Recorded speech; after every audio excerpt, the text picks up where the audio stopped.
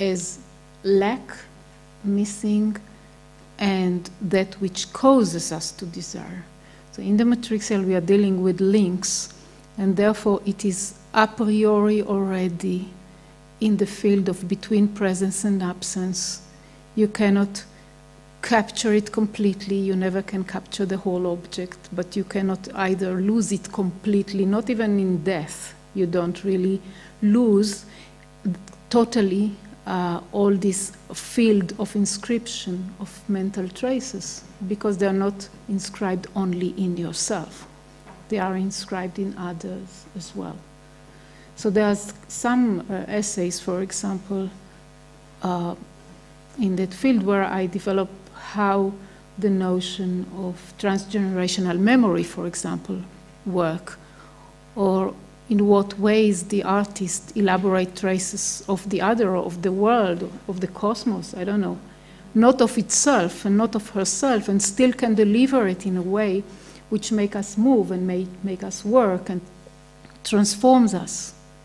Because these boundaries between that which is mine because I experienced it and not mine because I didn't experience it don't work so well in the matrixial. This is not this. Um, this is not uh, my experience, mine and only, and I'm the only one who's going to tell about it, and so on. It's another problematic. And uh, there are two concepts that uh, I'd better put immediately as well. Uh, what I call compassionate hospitality, com slash passionate hospitality, and, uh, and fascinance. Fascinance is more on the order of the aesthetics and the work of art, and compassionate hospitality is more on the order of ethics and on the order of uh, psychoanalytical treatment and uh, of course the, it is not a game to cut the word compassion but in the matrix it is absolutely necessary to show the co in all these kind of etymologically uh, the problematic of compassion for example you have a sharing in the pathic uh, in compassionate. Okay, now why I talk about hospitality is not for the same uh, reasons that, uh, for example, Derrida talks about hospitality, but it has a different uh, source altogether, and this source comes with the with the Latin word matrix, which stands for womb. I hope you're not going to be shocked, and we are not going to talk about the origin of the subject in the womb in any sense. But what is very important is to take the womb or the situation of pregnancy in its uh, the metaphorical richness of it, but also the, re- the, the real status of the real of that, in order to imagine not what we usually imagine an origin or enveloping environment where the subject is going to emerge, but rather the capacity in the human and vehiculed through the feminine body, female body, of creating uh, the capacity to have a space where, from the beginning, indeed, from the moment we start to talk about subject, we can talk about transsubjectivity, we can talk about I and non I. They are not in the same level of maturity, they are not in the same, they don't resemble, but you have the capacity in the human to apprehend and to incorporate and to process um, vibrations and all kind of sensations and so on coming from the other in the I. you, some of you, those of you who are um, acquainted with psychoanalytical theory might think here about uh, Bion, you know, the analyst uh, Bion, who was talking about the paternal, maternal capacity to elaborate all kind of uh, traces, things that are coming from the baby. The mother elaborate them, give them sense, but not yet articulated sense like a language, but give them some kind of sense and, in a sense, transmitting to the baby again in all kind of ways already a world that is less chaotic than what is coming from the baby. So here there is already an, uh, an idea of the mother, that the capacity of the mother to elaborate phantasmatic traces and memory for the baby and return it back to him or her.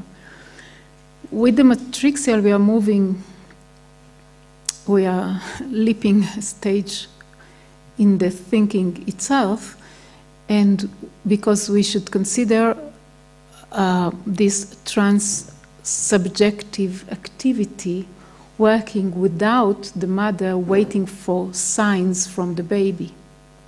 So we can talk about shareable, sharing trauma, sharing phantasmatic traces, but they are elaborated on different level by different partial subjects.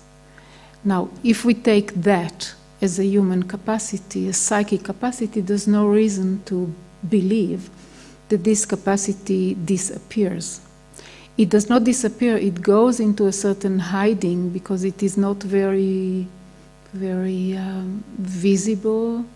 It is not uh, provable so much. You know, you can, there's a lot of processes that are matrixial that are easily disturbed, moving aside our, especially adult subjectivity, ruling it out with its phallic system of uh, operating for men and for women. It's not a question of gender, it's a question of different uh, strata of subjectivity, and one of them, usually easier to recognize, is, is the phallic uh, stratum.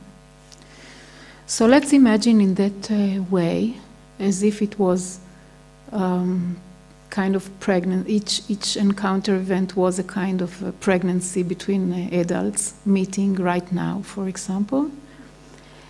And let's imagine this meeting happening on a level which is less defensive. You know, the I is not defending itself, and we are not completely inside our shells, and we are sharing, for good or bad, all kind of information and vibration. And on that level of partial subjectivity, I, which is a partial subject, only a part of me, right, meets a non I. There is a meeting.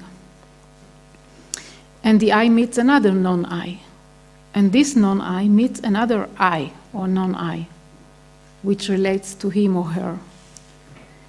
Each encounter creates its own psychic resonance field, and each resonance field is with and in other fields of resonance.